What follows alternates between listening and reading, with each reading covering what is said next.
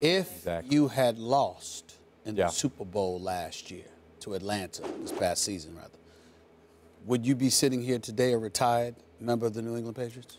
Well, um, I thought about that. I thought about that. It's uh, it's definitely it's hard to get to that that moment, that Super Bowl, and actually and, and, and win. And I've lost one in 2012, so I know the feeling, and it's it's the worst feeling um, that you can have because you're you're working towards that game your whole life, and when you get there, everything you get, like from 2012, that Super Bowl, I don't have a T-shirt, I don't have a hat, I don't even have the AFC Championship ring. I gave it to my dad.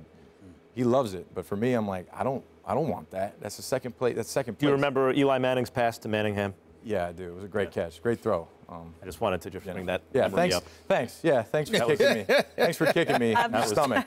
That was quite a throw, quite a so catch. when we and then you know with the Patriots organization, they've been so successful. I got there in 2009.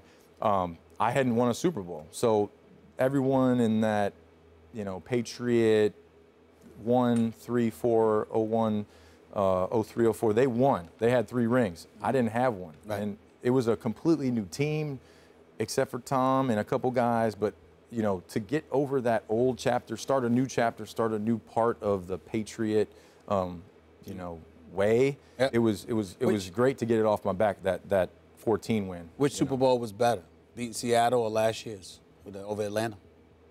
uh, beating Seattle for me because I, I had so much on mentally and physically on that game. I looked at myself and I said, you know, I'm going to go out here and play my best football for this team and do the best I can.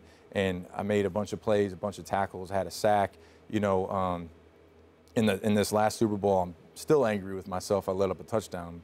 It happens, but you know, me against Freeman in a foot race. I'm 33. I ran Got a it, 4 got 9 it. when I was 21. I don't know, you know. So uh, that's one thing I wish I would have made that play, but uh, you know, all things happen for a reason. So that 14 game, it was it was something. Marcellus Wiley tells me he retired because uh, you know when you, you just stop, you can't run through the brick wall anymore. When you're younger, you Yeah. you run through the brick wall, then you see that brick wall, you go, I'm not trying to do that. What was the moment at which you thought there must have been a moment where you said, I'm not running through the brick wall, so it's time to go?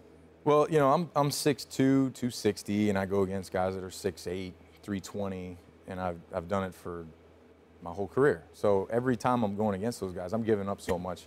I got to bring everything I got, and you know, at at some point, you just realize like these guys are. What was that point? That's what I'm asking. You had to have a I'm moment. Thinking, I'm thinking. Um, I would personally say, you know, after we had won 14, uh, 15, we went to the AFC, lost to Denver, um, and then last year I had the issues going on. I tore my tricep. My body was kind of talking to me. Um, I unfortunately had a PED incident that was terrible that I had to deal with, and it was a struggle. And after, and since then, I, I was like, okay, I'm gonna get through this year. I'm gonna give it my best shot. We won the Super Bowl, and then So it worked out. I mean, how many guys go out. out winning their last game? Almost no one. exactly, not many.